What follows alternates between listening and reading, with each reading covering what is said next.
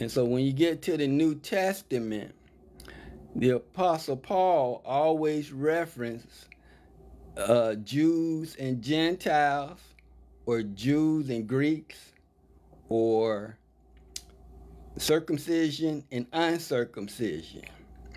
Now, you got to keep in mind the scripture is about context, it's about agreement. And so, what Christianity told me from what Paul was referencing was that the Jews is all of the 12 tribes of Israel, and the Gentile is everybody else. That's what Christianity told me.